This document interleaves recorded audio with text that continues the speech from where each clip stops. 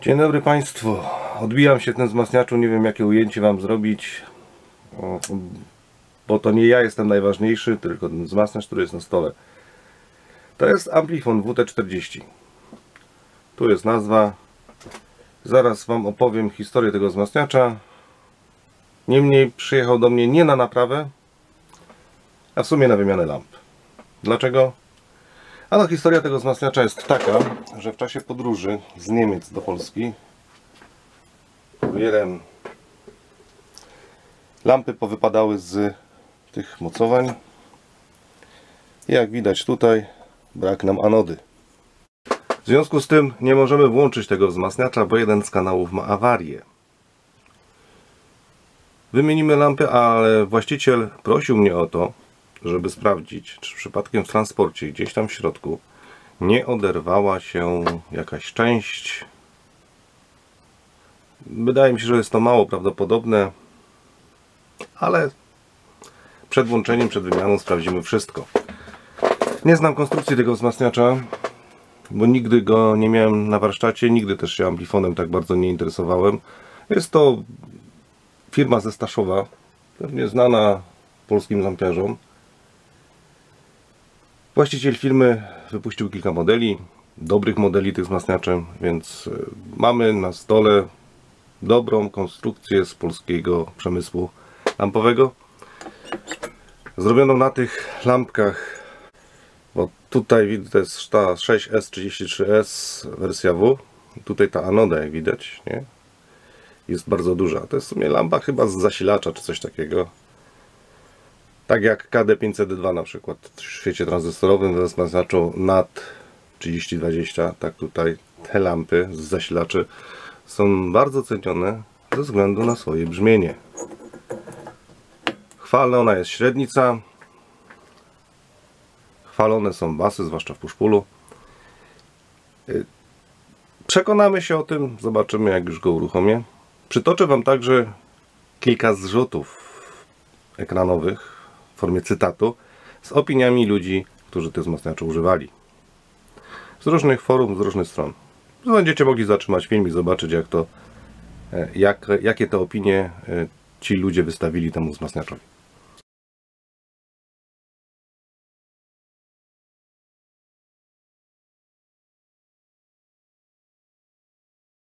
Moja narracja w tej chwili może być ze zgrzytem z tego względu, że mam katar, trochę kaszle.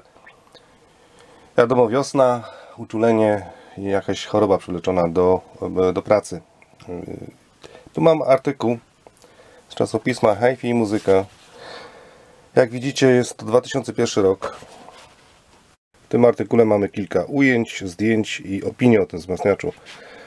Zobaczmy jak opisuje autor tego artykułu budowę wnętrzną tego wzmacniacza. Pan Jacek Kłos donosi, że wzmacniacz jest y, zrobiony według najwyższych standardów. Obudowa składa się z konstrukcji nośnej jakiejś aluminiowej płyty, do której mocowane są elementy spolerowanej blachy chromowo-nikielowej, co zresztą widzieliśmy na pierwszym ujęciu. Zaletą takiego wykończenia jest piękny widok, połysk, ale to niestety potrzeba nieustannej konserwacji. Ja tylko przyniosłem ten wzmacniacz z domu do piwnicy, gdzie mam warsztat i już mnóstwo odcisków mamy na tym urządzeniu. Tutaj ta płyta jest zdejmowana, ta jest na stałe przykręcona, ta z tyłu, tam są transformatory, tu mamy poliuretanowy lakier na tym boczku. Nie podoba mi się ten złocony przodek, totalnie odstaje od całości, no ale taki zamysł miał konstruktor. Ja tylko mogę powiedzieć swoje zdanie na temat takiego wykończenia. Pan Jacek pisze, że wyposażenie WT40 jest nader skromne. Możemy podłączyć trzy źródła liniowe i tyle. I faktycznie, tak spojrzymy, gałeczka ma tylko trzy pozycje. To jest ta gałeczka. Zaraz sobie obejrzymy to na panelu przednim. Tutaj ta gałka. Urządzenie ma przełączaną pętlę sprzężenia albo 6 dB, albo wcale. Przełącznik jest na tylnym panelu. Wzmacniacze wejściowe, czyli napięciowe i odraczacz fazy jest oparte na ECC82 Tutaj niby oryginalnie produkcji jej elektronik, ja tutaj mam Philipsy na Amerykę. Resztę lamp dostarczają Rosjanie. W stopniu sterującym mamy 6NP EW, stopniu mocy 6S33SV w trybie przeciwsobnym. Ostatnim elementem w torze sygnałowym są transformatory dopasowujące. Jak widzicie, transformatory to są toroidalne elementy. No i to chyba na temat konstrukcji tylko tyle jest napisane. Według danych katalogowych spadek na 12 Hz przy 39 W wynosi jedynie pół decybela. Możemy to sprawdzić. I następna strona. Podzespoły, elementy, które są wrażliwe na temperaturę umieszczono z dala od y, lamp mocy. Ale mnie interesuje, tak prawdę mówiąc, w jaki sposób ten wzmacniacz jest zbudowany, jeżeli chodzi o konstrukcję. Czy to mamy pływającą parafrazę w, w odraczaczu fazy, czy też może szmyta, czy też katodynę. Trudno powiedzieć tak na podstawie tego artykułu, będzie trzeba wzmacniacz sobie rozrysować. Jakie brzmienie? No to też pewnie Was interesuje. Tu mamy ocenę. Ja już nie będę przytaczał całych wrażeń odsłuchowych. Neutralność na 3 na 5, dynamika 4 na 5, stereofonia 3 na 5, przejrzystość 3 na 5 i muzykalność 4 na 5, bas 4 na 5.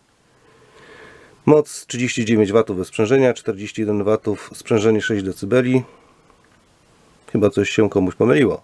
Ze sprzężeniem mamy mniejszą moc, tak? Ponieważ część mocy produkowana jest oddawana do wejścia, zwłaszcza jeżeli to jest ujemne. Co tu jeszcze? Zniekształcenie 0,2 na 1 wacie. No bardzo skromnie mamy tutaj pasmo przenoszenia 6 Hz, 120 kHz z, minut, z 3 dB spadkiem na 1 wacie. Bardzo ciekawe, dlatego że mamy toroidalne transformatory, pewnie dlatego tak to jest.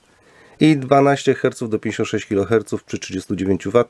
To też nie jest y, źle, a nawet dobrze. Czyli teoretycznie mamy od 10 Hz do 60 kHz prawie równe pasmo ze spadkiem 3 dB. Drugi z testów z audio-wideo z czerwca 2001 roku. Tu widać czerwiec 2001.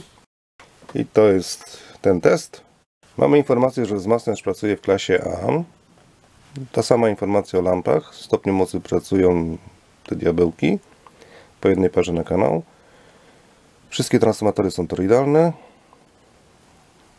Wyjściowe transformatory mają 10-sekcyjne uzwojenie z oddzielnymi odczepami przystosowanymi do pracy z 4 i 8 ohmami. I zastosowano wspólny transformator sieciowy. No i to jest w sumie wszystko. Brzmieniowo też widzicie cenę, też tutaj widać 5200 zł w 2001 roku to było. I wiem, że Amplifon WT40 miał dwie wersje. Urządzenia nie będę włączał do sieci, powyciągam tylko lampy. Przygotowałem sobie kartonik. Stopień napięciowy i odrastacz fazy 5963 czyli ECC82 a to jest lampa sterująca. Mam nadzieję, zobaczymy po konstrukcji co i jak. Na tej powierzchni jest bardzo dużo przygrzanego kurzu także przydałoby się wypolerować to nawet.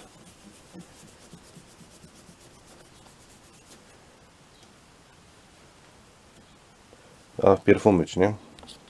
Czas zobaczyć tego cudaka z tyłu. Zestawy bezpieczników, wspomniana pętla, gniazda głośnikowe, tu radiatory od zasilaczy i gniazda wejściowe. Dużej filozofii nie ma. Wzmacniacz jaki jest, każdy widzi. Ładne te zaciski głośnikowe.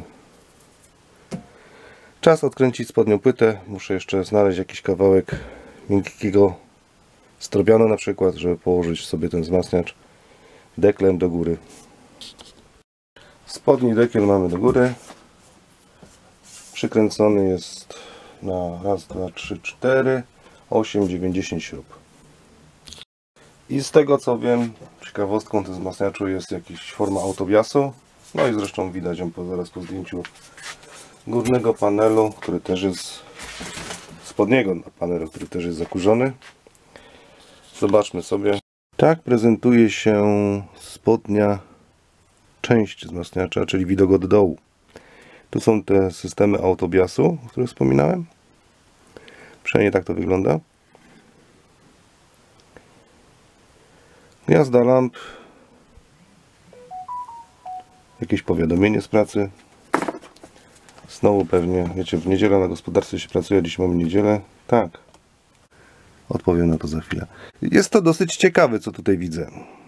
To prawdopodobnie będzie jakiś stopień między lampami. Tutaj ten autobias prawdopodobnie. Mówię prawdopodobnie, bo nie znam tej konstrukcji.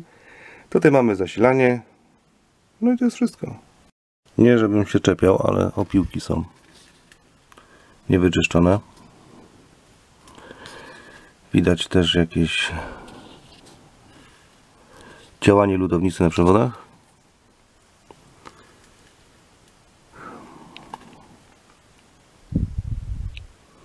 Ale komponenty raczej dobre. Kondensator Samsunga. Co to jest? Też Samsung. Co to możemy mieć? Tu mamy jakiś bezpieczny. Tak, tu mamy jakiś układ. Prawdopodobnie do żarzenia. Się opóźnia załączanie żarzenia. Tu mamy stan power. O, tu mamy power. Ten standby tutaj to pewnie będzie wyłączenie napięcia nodowego. Podświetlamy sobie potencjometry. Tu mamy przełącznik. I tutaj też takiego samego typu potencjometr. Bardzo ładny. Tu mamy wybrzuszony kondensator. Tak jak widać pod światło. To będzie trzeba wymienić, albo przynajmniej sprawdzić go. Ale najlepiej to wymienić od razu, nie? To nie jest tak, żeby to zostawić.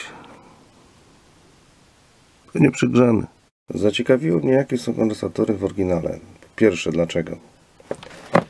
Rysunek na płytce sugeruje mniejsze rozmiarowo kondensatory, tak? Nie sądzę, żeby pan Andrzej budując swój wzmacniacz robił taką chałturkę, że nie dopasuje sobie e, rozmiarów kondensatorów do miejsca na PCB, bo to przecież jak projektuje to może za- zagospodarować tak odpowiednio. Druga rzecz te lutowania. Jakby popcinane nóżki, ktoś dolutował kondensatory. Tutaj jest jakby oryginalnie, tutaj jest dolutowane. Samo tutaj, więc to myślę, że to nie są oryginalne. Jeszcze jedną rzecz znalazłem. Nie sądzę, żeby to było oryginalnie. Tak, yy, ze Staszowa wiesz, może po prostu. Ani że w transporcie się to odkręciło. Takie kluchy też nie sądzę, żeby konstruktor zrobił.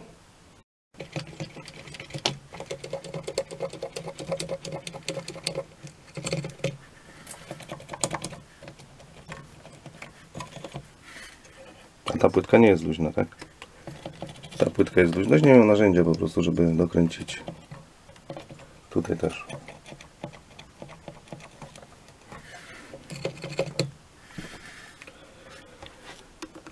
Ta płytka jest cała, ta płytka też jest cała.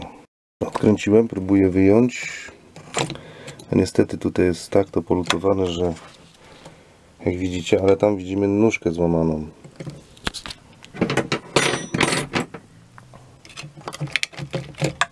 To prawdopodobnie transport. Żeby dostać się i tam polutować to, muszę odlutować ten rezystor, ten rezystor, ten tutaj mogę zostawić przewód, on jest tu przekręcony. To jest prawdopodobnie siatka sterująca, ale musimy zobaczyć na schemacie wyprowadzeń tej lampy. Tak się przyglądam temu połączeniu i to jest tak zwane złe lutowanie. Pewnie ktoś e, albo nie odkręcił płytki i próbował przez górę to przylutować, albo po prostu ma bardzo małe umiejętności. Ten, kto robił ten upgrade. Pozostałe rzeczy, no, niewyczyszczona cyna, ale interesuje mnie to miejsce, bo tutaj jest wygrzane mocno od tych rezystorów. Chyba sobie zacznę rysować schemat tego urządzenia. Spoglądam tutaj, jak jest osadzona em, ta podstawka pod płytkę, ten, ten, ten kołek dystansowy, tu już ktoś kiedyś lutował, bo mu się to wyrwało z chassis. Użył niewłaściwego kleju, już tutaj oskrobałem trochę. No, będziemy musieli to zalepić jakimś klejem, żeby mm, to była podstawa, która wspiera nam tę płytkę drukowaną, tak? Budziła się jakaś mucha. Lata mi wokół głowy. Strasznie irytuje. Wiosna. Po wyczyszczeniu od kleju wygląda to tak. Prawdopodobnie oryginalnie było zrobione. Się panu Andrzejowi duża dziura zrobiła tutaj. I po prostu ta śruba była zalana klejem. Tak? W ten sposób mniej więcej. Dobra, zróbmy tak samo. To wklejone. Mam nadzieję, że będzie się trzymać. Klej niby tam łata aluminium, ale schnie 24 godziny. Teoretycznie powinien to pochytać mi, ale nie jestem pewien. Teraz będziemy rysować schemat. Muszę sobie wydrukować wyprowadzenie wszystkich lamp, które tutaj są użyte. I w jakiś sposób to rozrysować, bo bez schematu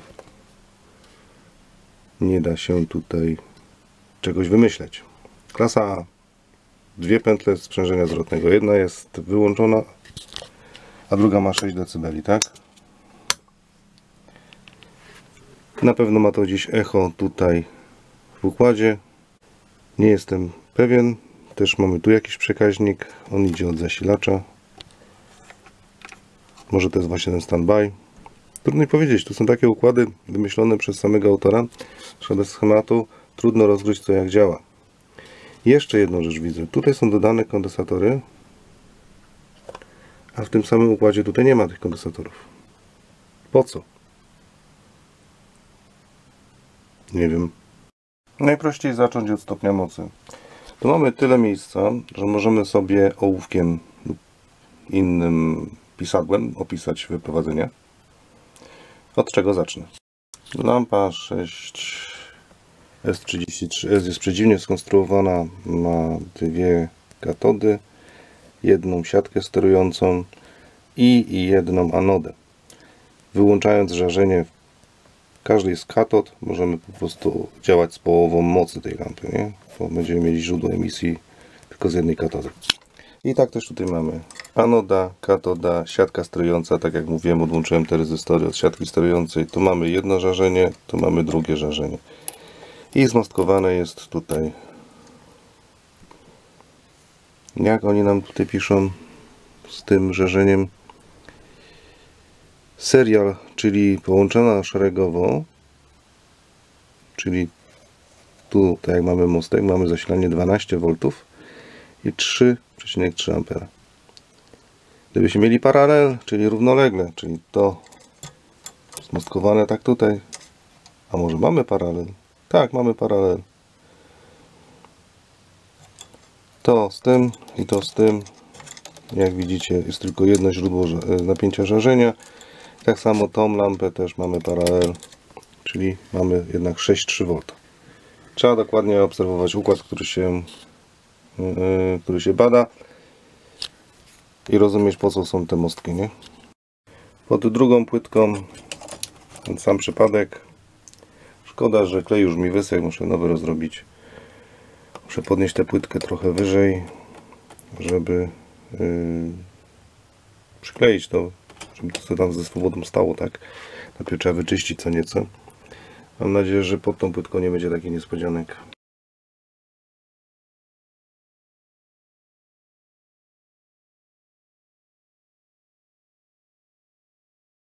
Z ciekawości wymontowałem ten przekaźnik. On jest w obwodzie katody. Chciałem wiedzieć jaki tutaj jest rozkład styków. Czyli ten jest wspólny, zwarty, rozwarty. Podłączymy napięcie, ten i ten jest zwarty. To co jest tutaj na tej płytce, to z katody wchodzimy na ten kondensator i ten kondensator. Następnie mamy diodę i drugą diodę, czyli tą małą, która wychodzi sobie tutaj na tą płytkę, dokładnie tutaj na ten y, nie, na ten element tutaj. I tutaj jest jakiś układ pomiarowy chyba. Nie jestem pewien. Potem styk przekaźnika załącza nam napięcie ze z tej płytki stabilizatora tutaj. To może być właśnie tak jak mówię jakiś układ standby. Nie jestem pewien. Bądź co bądź nie widzę żeby katoda była bezpośrednio do masy włączona. Może tutaj przez ten układ tak jak widzicie tu sobie idzie katoda wchodzi sobie tutaj na ten pin Tutaj mamy jeden kondensator do masy. Tutaj mamy drugi kondensator do masy. Włączone to jest na ten styk, który jest nieaktywny, bo te dwa piny są niepolutowane. I sobie idzie przez to tutaj na ten diodą. Nie? Teraz dioda jest podłączona tutaj do tego styku. I stąd idzie sobie przez jedną diodę na napięcie zasilania tutaj. Tutaj mamy przewodzik. I ten przewodzik sobie idzie w to miejsce tutaj właśnie, tak? Tu mamy z pomostków widać mostek, diody. To sobie idzie tutaj, także na jedną płytkę i na drugą płytkę. Czyli na razie układ katody jest z jakiejś autopolaryzacji, tak myślę. Albo pomiarowy układ, nie wiem, jeszcze muszę. Nie wiem jak to jest dalej, bo to ginie gdzieś tam w zasilaczu. Ale mnie bardziej interesuje już samo tutaj to, więc na razie się nad tym układem pomiarowym tam nie będę zastanawiał w tej katodzie.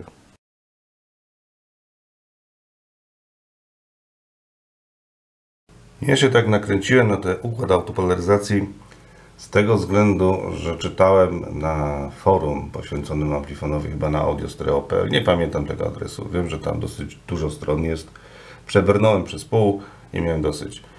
To jest typowy wzmacniacz Primaluna, tak?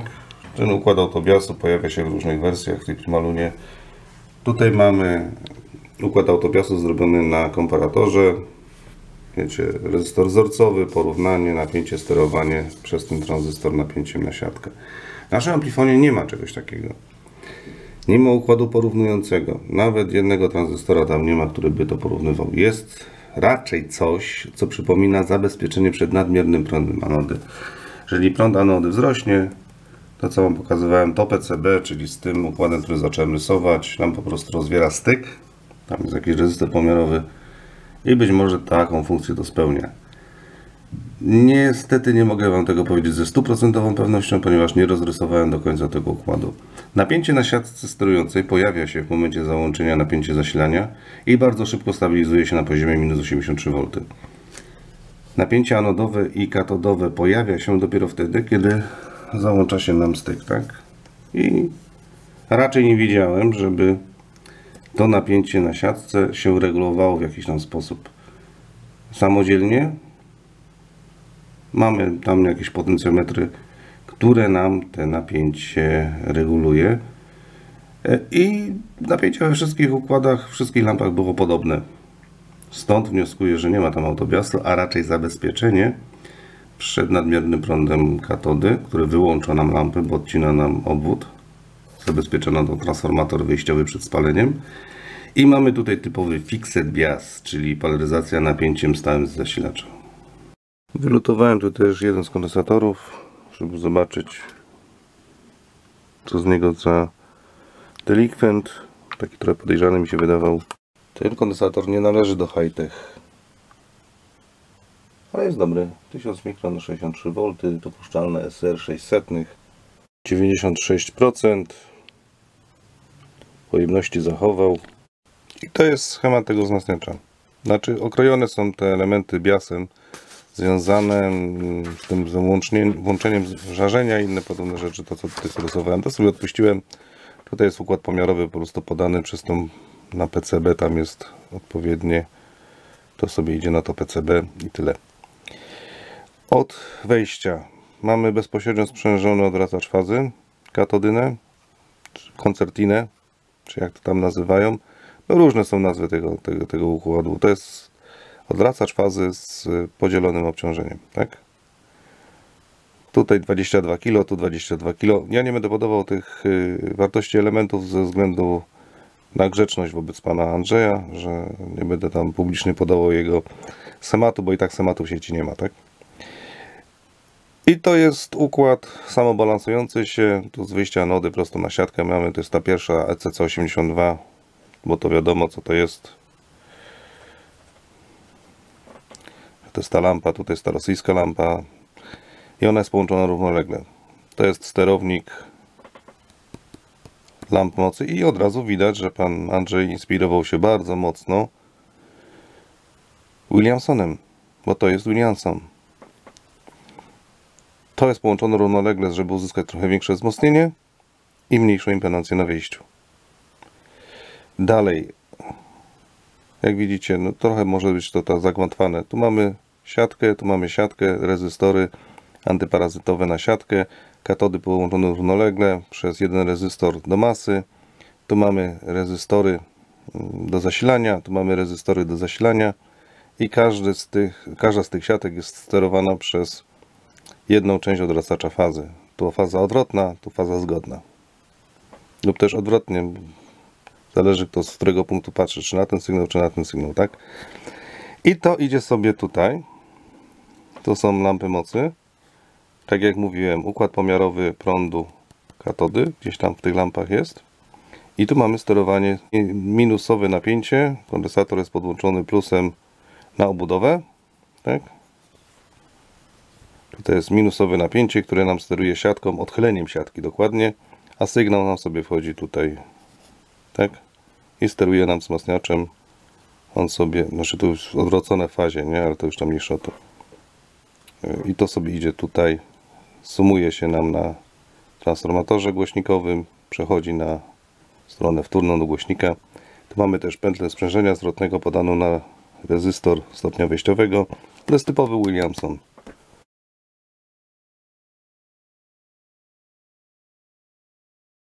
Na co nas to uczy? Że tutaj możemy spodziewać się jakiegoś napięcia 60-80 V na tej siatce. W zależności od napięcia zasilania tutaj. Tu będzie też wysokie napięcie i tutaj też będzie wysokie napięcie, tak? Na katodzie. Ono jest podzielone na pół, tak? Wiecie jak działa ten odracacz fazy z podzielonym obciążeniem. Odwracacz z podzielonym obciążeniem rozjeżdża się na wysokich częstotliwościach. To wynika z innych impedancji katody i anody, ale ogólnie jest on e, excellent, excellent, excellent, jeżeli chodzi o symetrię częstotliwości, przetwarzanie częstotliwości, stabilność pracy i tak dalej, i tak dalej. Tutaj mamy same triody, więc nie mamy na wyjściu ultraliniowego transformatora, czyli jest to typowa pierwsza wersja Williamsona, bo w pierwszej wersji Williamsona też mieliśmy lampę tetrodę połączoną w triodę, tak? Tak sobie odkręcam tą drugą płytkę, żeby zbadać ten kondensator. Wiecie co mnie najbardziej zastanawia w tym wzmacniaczu? Dlaczego siatka jest na przewodzie żarzenia? Ona jest tutaj przywiązana tym czerwonym sznurkiem i sądzę, że to jest oryginalne. Wylutowałem grubasa 220 mikro i niby jest dobrze. Na ile? Na 250 V. 0,27 maksymalnie mamy 0,21 Widać, że jest zaokrąglony Tego sobie kupimy, znaczy dwie sztuki. No, tak jak Wam pokazywałem, ugina się cały. Wymienię tego i tego w obu kanałach. Więcej poprawek tu chyba raczej nie będę robił, tylko muszę odkurzyć te opiłki, które tam widać. No, już ich nie widać, bo je właśnie zmiotłem. Ogólnie to mam mieszane uczucia co do montażu tym wzmacniaczu. Teoretycznie jest to wzmacniacz wysokiej klasy, dobrze zmontowany, ale widzę parę niedoróbek. Ta płytka w głębi, to, to są wejścia, przekaźniki tuż obok wejść, sterowane to jest napięciem. Ogarnąłem zamówienie, ten i ten będą kupione. Eee, może w tygodniu powinny przynieść. Znaczy tak, jutro wyślą, poniedziałek, wtorek, środa powinny być mniej więcej u mnie te, te, te kondensatory. Oczywiście nie mam nic do tego, żeby wzmacniacze montować sobie w warsztacie przydomowym, ale widać, że jest to rękodzieło nieseryjno, niewielkoseryjne. E, jak widzicie, był już parę razy otwierany. Te otwory nie wiem do czego są, może ktoś sobie nóżki wymieniał. Trudno mi powiedzieć.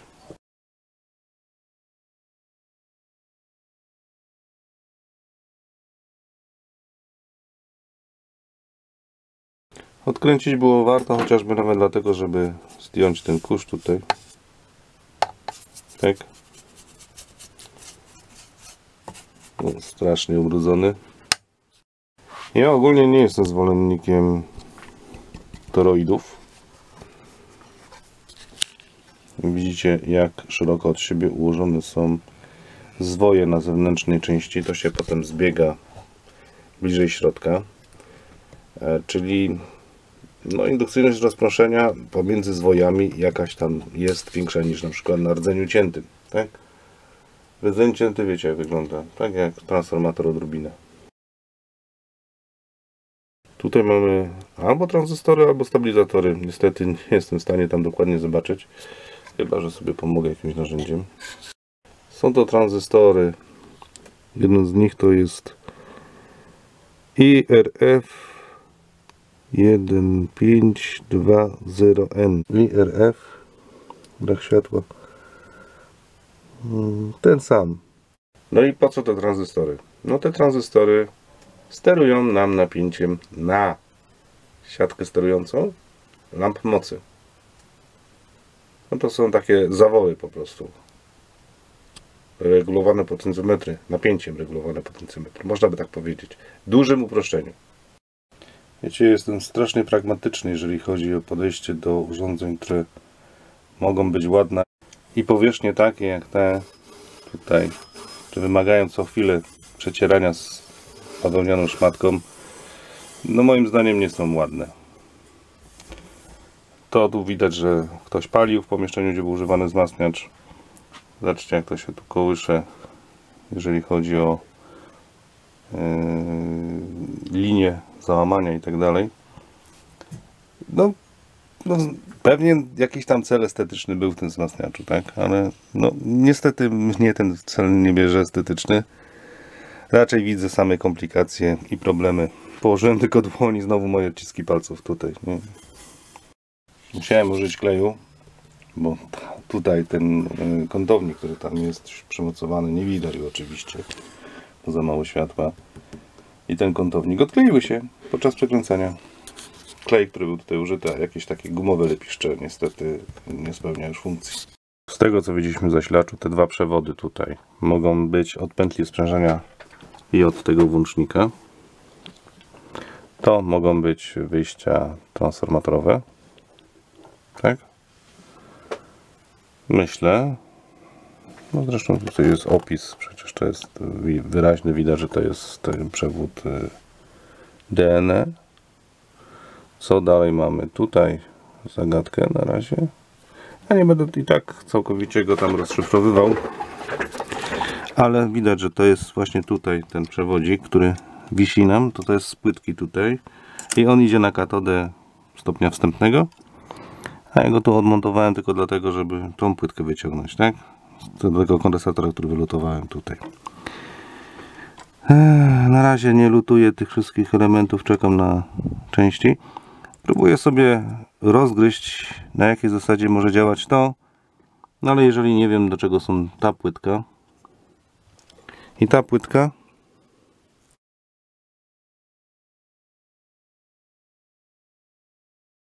Mam jeszcze jeden koncept, że wzmacniacz posiada dodatkowe uzwojenie do pętli sprzężenia zwrotnego i nie jest ona pobierana z uzwojenia głośnikowego. Widzieliśmy przed chwilą pod pokrywą, że odczepy od transformatorów szły bezpośrednio na te zaciski.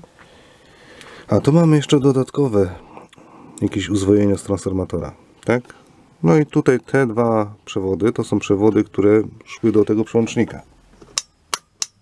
Tam było widać, że je- jeden był z opornikiem, drugi był bez opornika. Były one niebieskie, tak? A tutaj mamy ten przewód. Wchodzi nam tutaj i to jest katoda pierwszej lampy, tak? Tutaj pewnie nastawa prądu, czy tam napięcia, dokładnie napięcia idącego na siatkę.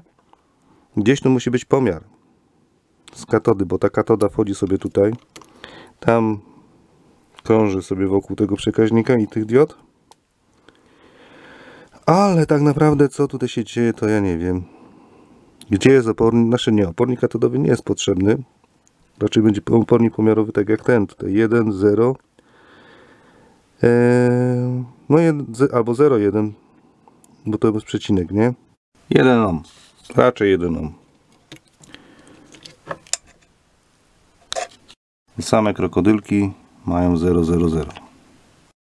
Ja raczej kod paskowy Pamiętam dla rezystorów, już myślałem kiedyś, żeby sobie tutaj tablicę powiesić. Tu mamy 1, 0, 0 i 1, 0, czyli 1 kg. Zaraz sobie go sprawdzimy.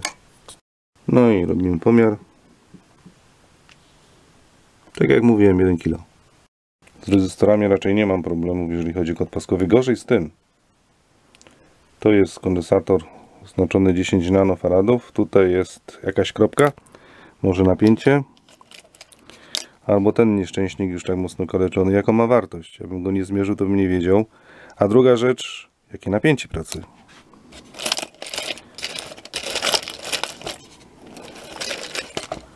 Tu na szczęście mamy informację, ale tu widzimy znowu z kodem paskowym. To są Philipsy jakieś stare z magnetowidu wideo 2000, bo taki kiedyś miałem, ale się zepsuł. O, no to już kompletnie nie wiadomo co to jest za element, prawdopodobnie jakaś cewka. Może być cewka. No ale z ciekawością zaraz sprawdzę. Natomiast jeżeli chodzi o takie rezystory, to to nie ma problemu. 4, 7, 1, 470 ohmów, 1, 2 i 4 zera, 120 kg, no i pasek złoto oznacza tolerancję. Patrzcie, kondensator. A jednak kondensator. I teraz jak go tutaj rozgryźć? 8130, 8137 piko. Nic mi nie mówi ten pasek.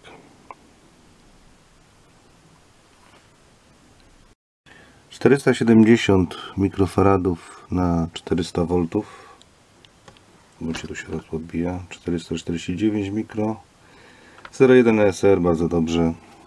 Drugi z kondensatorów może mieć 220 mikro. Tak, nie wiem czy widać. Tutaj jest napisane. 205 mikrofaradów. Jeszcze w tolerancji, jeżeli chodzi o pojemność. 17. To jest na ile napięcie? 500 V. 0,17. No, moglibyśmy uznać, że było dobrze. Jak widać, to jest 93% pojemności, 7% w dół. Do 10% mamy tolerancję, nie ma problemów. Jest dobrze. W radioelektroniku z 1996 roku, numer 8, ukazał się artykuł pana Andrzeja na temat wzmacniacza lampowego WL36 i w tymże opisał dokładnie działanie swojego wzmacniacza. Pokazuję Wam to tylko dlatego, że gdzieś tam na forum czytałem, e, jeden z użytkowników napisał, że ten wzmacniacz posiada automatyczną kontrolę biasu przez jakiś układ nadzorujący. Niestety nie posiada. Tutaj jest autopolaryzacja na oporniku katodowym. Widać na tym schemacie, to jest typowy Williamson. Także no najpierw trzeba by było poznać cały schemat. To jest łatwo dostępny w tej chwili, aniżeli tworzyć jakieś teorie. Mamy jakiś układ elektroniczny, opis wszystkiego. Tutaj jest opis zasilacza, opis jest i układa opóźniającego. Ja się spodziewam, że ten układ opóźniający jest także zaadaptowany do naszego WT40 i ten schemat może wyglądać w ten sposób. Jakiś tam układ opóźnienia. Ta płytka albo ta płytka. Do wad tego wzmacniacza niestety należy ta podstawka. I już tłumaczę o co chodzi. Lampy się mocno grzeją. Te diabełki niestety wydzielają mnóstwo ciepła. Nagrzewają się piny. I teraz tak. Tu widać już jest szczelina, tu jest szczelina, tu jest szczelina. To trzeba sprawdzić, czy ma docisk, jak włożymy lampę i czy wszystkie piny się na tych, yy, na tych tutaj elementach lokują, dokują. Teraz tak, próbowałem przylepić sobie, przykleić, przylutować tutaj ten rezystor. Okazuje się, że ten element jest już tak przegrzany, że nie chwyta się go cyna. Musiałem lekko go podrapać, za chwilę użyję kalafonii czy innego topnika, żeby tutaj ładnie to przylutować. Jak widzicie, z tego powodu nie będę ruszał tego przewodu i zostawię go tak jak jest, ponieważ będę mieć problemy z lutowaniem tego tutaj wszystkiego. Także to jest jedna z wad tego wzmacniacza, też na, foruch, na forach się o tym pisze. Jeszcze trzeba tutaj poprostować niektóre rzeczy. No widać w następnym gnieździe ten element tutaj już ma dosyć. Zobaczcie jaki tutaj to jest przegrzany. Także no Fajnie mieć wzmacniacz na, popular, na takich bardzo popularnych, może nie, wyjątkowych lampach, ale lampy nie należą do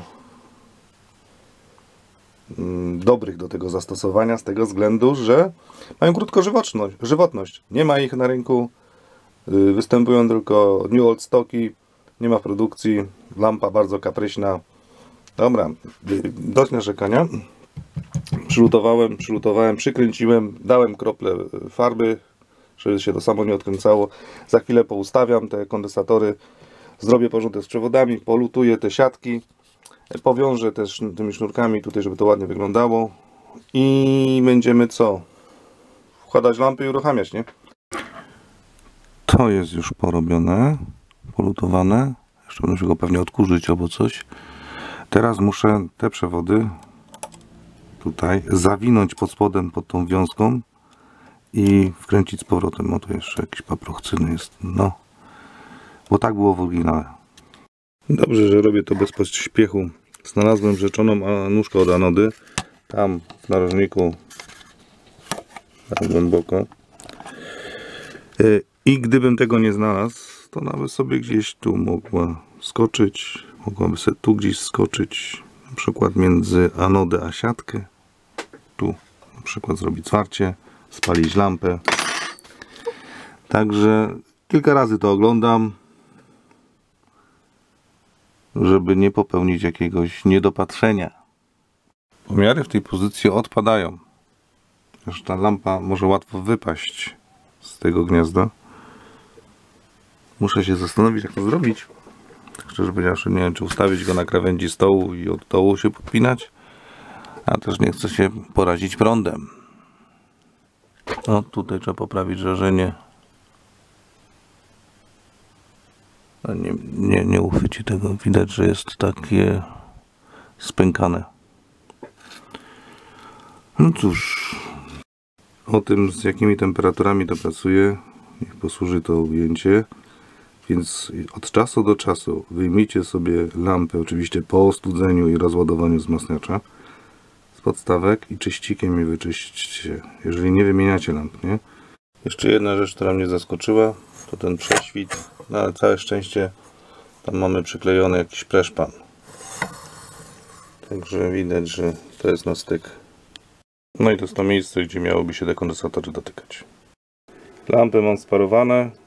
Dostałem, to znaczy klient mój dostał je od pana Krzysztofa, który jest znawcą tych lamp, ma ich kilka w zapasie. Nie wnikam, są poukładane parami. Jeszcze muszę tylko te wrzucić, to oczywiście też sobie oznaczyłem.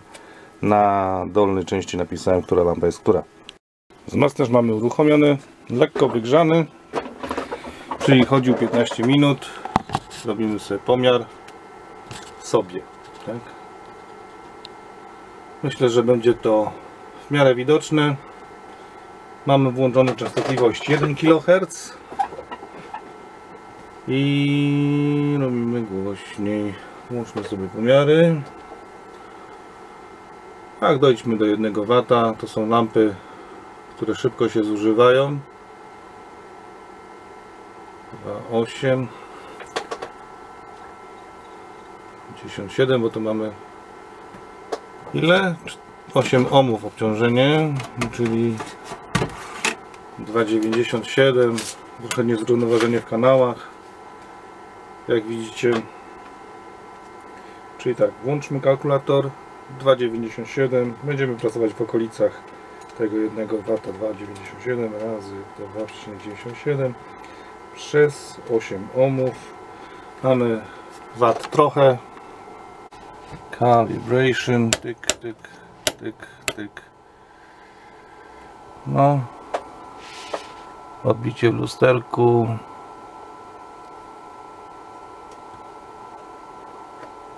Mamy skalibrowane. Robimy sobie pomiar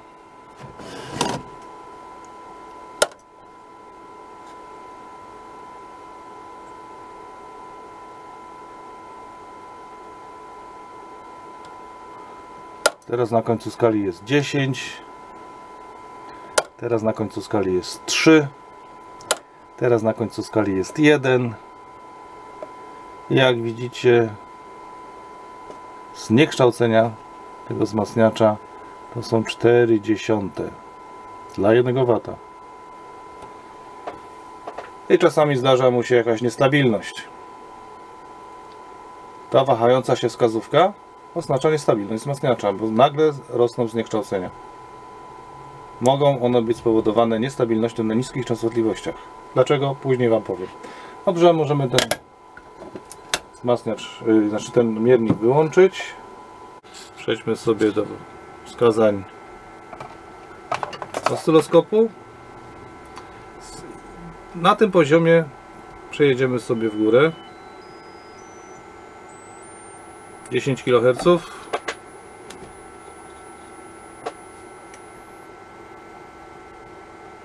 Jak widzicie, stały poziom aż do 20 kHz.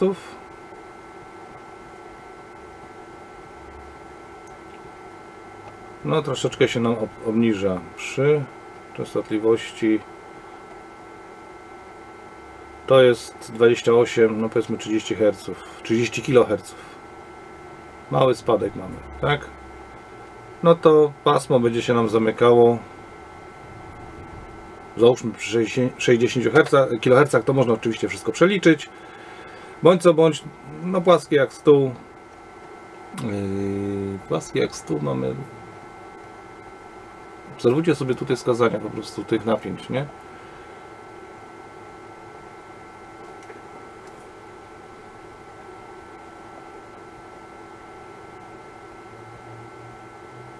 No, załóżmy 30 kHz mamy spadek 0 dB, czyli do 90 kHz powinien ten wzmacniacz spokojnie przenosić. Po co komu takie szerokie pasmo przenoszenia? Ano po to, żeby prawidłowo działała pętla sprzężenia, którą mamy w tej chwili wyłączoną. Załączmy sobie pętlę sprzężenia i sprawdźmy sobie pasmo przenoszenia. Widzicie, jest niższy sygnał, ponieważ ta pętla sprzężenia zabiera nam trochę sygnału.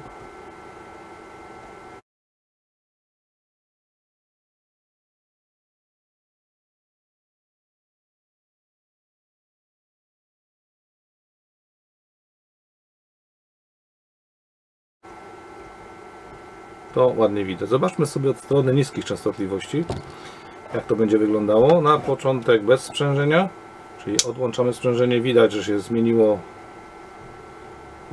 nam poziom sygnału. Zmienił się nam poziom sygnału. Wybaczcie te trzęsienia się, ale ja po prostu operuję tutaj y, bardzo blisko no powiedzmy 800 Hz bardzo blisko tej puszki, na której stoi Mam aparat fotograficzny, tak? Czyli tak, 700 Hz, 500, 300, wszystko na jednym, no trochę więcej jak jednym wacie. Czyli mamy lekkie wzbicie częstotliwości niskich. Jak widzicie, podbicie jest lekkie niskiej częstotliwości. 200 Hz, 100 Hz, te wartości tu się nieco podniosły.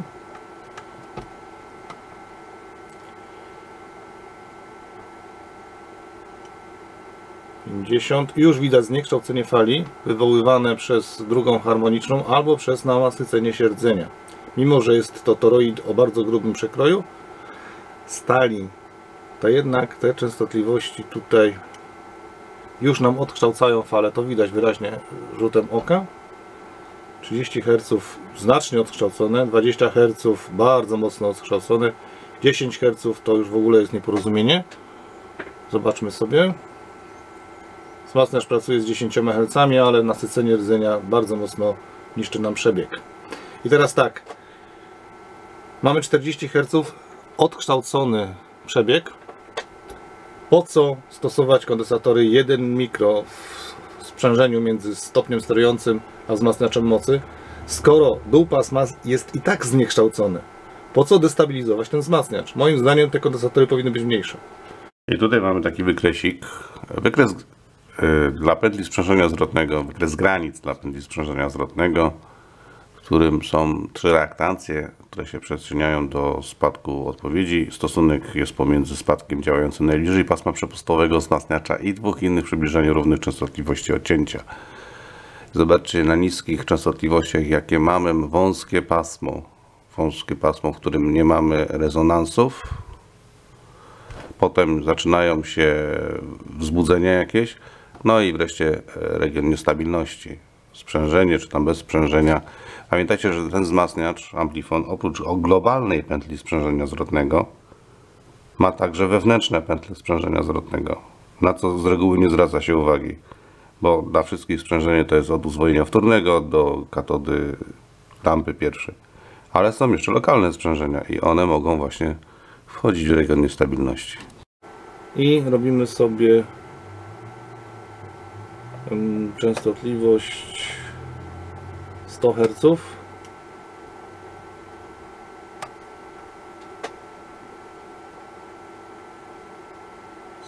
Hz dla tego poziomu, co mieliśmy 2,80 parę volta, bo prawie 3 V, no to zróbmy sobie tak w okolicach.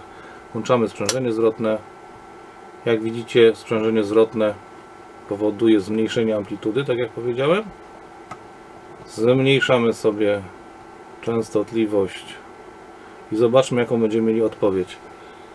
Jak widzicie, brak zniekształcenia przy, przy, tej częstotliwości 30 Hz, 20 Hz, 10 Hz dopiero się pojawia to zniekształcenie, o którym wcześniej mówiłem, tak? Tutaj.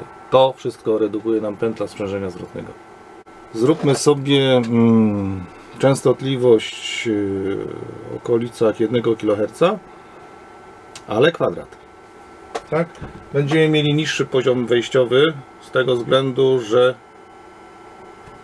wypełnienie jest większe, jak widzicie. Zróbmy sobie w okolicach tego 1,20 V. Widać niezrównoważenie kanałów. Z tego względu, że nie chcę obciążać ten wzmacniacza. Te, jak mówiłem, te lampy są dosyć krótkożywotne, więc y, marnowanie ich potencjału na pomiary jest naprawdę zbędne. Zróbmy sobie częstotliwość 10 kHz. Wszystko jedziemy bez sprzężenia oczywiście. Tutaj to jest bardzo dobry wynik od strony wysokiej częstotliwości. Nadal jest to bardzo dobry wynik. To jest wpływ e, pojem- pojemności pasożytniczych. Widzicie destabilizację jednego z kanałów.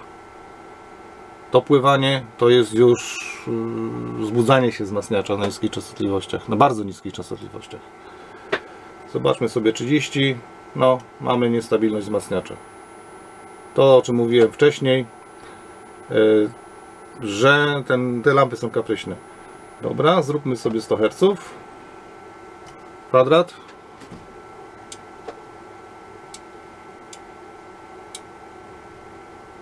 Jak widzicie, jeden z kanałów ma problem z niskimi częstotliwościami. Zróbmy sobie zejście w dół. W drugi, drugim kanale też się pojawiają niskie częstotliwości, problemy. Tak jak mówiłem, jest to, to sprzężenie, które tam jest przerobione, jest to niekorzystne. Aha. Koniec pomiarów. Myślę, że tych kilka pomiarów powinno Wam uzmysłowić, co powoduje zmiana yy, na niefabryczne wartości w, we wzmacniaczu mocy lampowym sprzężeń między między sekcjami, tak? Przed wzmacniaczem, napię- wzmacniaczem napięciowym, sterownikiem, odwracaczem fazy. Jak konstruktor zaprojektował, niech tak zostanie. Tutaj te kondensatory są zbyt duże, wzmacniacz schodzi zbyt nisko, co powoduje destabilizację na niskich częstotliwościach. Może się on wzbudzać. To wzbudzanie będzie podobne do efektu tremolo, czyli raz będzie głośniej, raz będzie ciszej, ten dźwięk może tak delikatnie pływać. To tyle z tych pomiarów.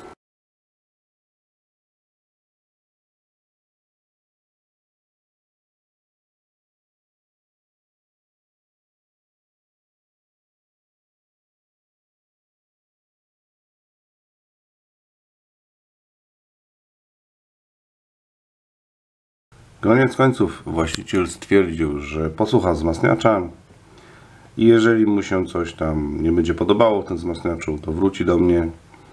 Ja mu zrobiłem raport. Tutaj jest z naprawy, z tej wymiany lamp, z badań.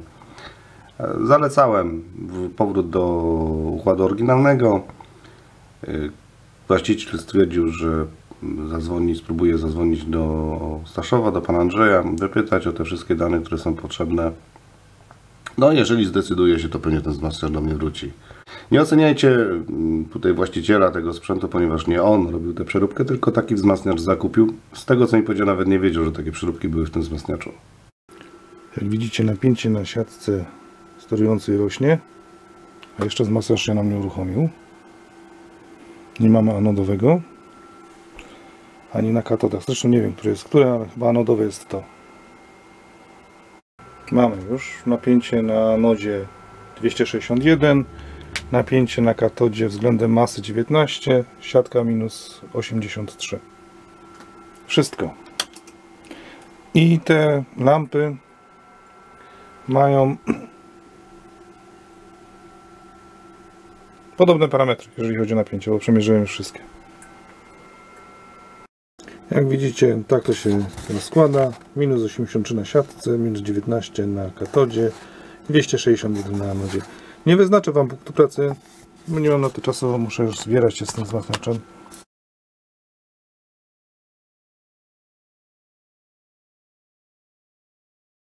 Odpaliłem tam jakąś muzyczkę, ale wzmacniacz ma problemy. Miałem wrażenie, no wiecie, w wzmacniaczu z transformatorem głośnikowym nie ma czegoś jak stała składowa, ale tak mi się wypchnęły do przodu membramy, jakby ta stała składowa były, była.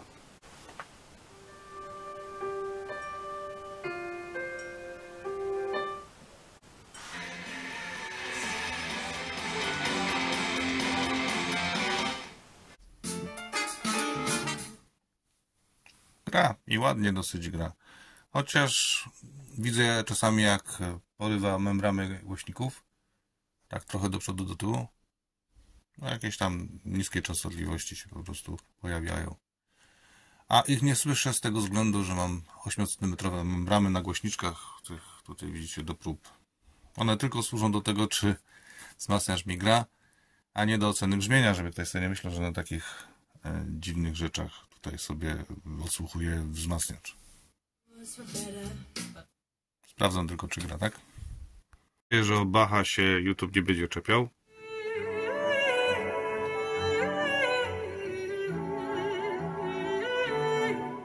Oczywiście bez sensu jest puszczanie muzyki przez moje głośniki, rejestrowanie przez mikrofon ze smartfona i puszczanie potem przez wasze głośniki was wzmacniacz, no ale gra.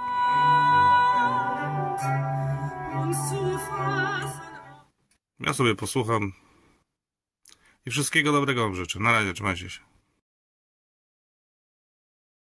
Przed publikacją filmu Amplifonie postanowiłem Wam zrobić film o projektowaniu wzmacniacza z tej serii pana Normana Krochasta. To tutaj. e, Tym razem ze sprzężeniem, po to, żebyście mogli zrozumieć o co mi chodzi z tym zbyt dużym sprzężeniem. No już mam prawie cały film w tablicach przygotowany. Żeby mi nikt nie powiedział, że się wymądrzam, że rzeczywiście te pojemności sprzęgające są za duże. Zobaczcie ten przebieg. Ten też zaczyna w taki sam sposób tutaj się e, wybijać, ale jeszcze nie ma takich problemów jak ten, za to ten był modulowany częstotliwością, tam z 4-5 Hz, wpływał sobie do góry na dół. Zobaczcie do książki. To jest książka o naprawianiu wzmacniaczy. Przebieg numer 2 Nieprawidłowe przenoszenie małych częstotliwości. Przebieg numer 4, który jest, ten niebieski tam był, podobny. Zniekształcenia sygnału wyjściowego w pobliżu dolnej granicy pasma. Tak? W pobliżu dolnej granicy pasma. Przypis tak mówi. Czyli co? Trzeba po prostu to sprzężenie osłabić. e, Zmniejszyć niskie częstotliwości.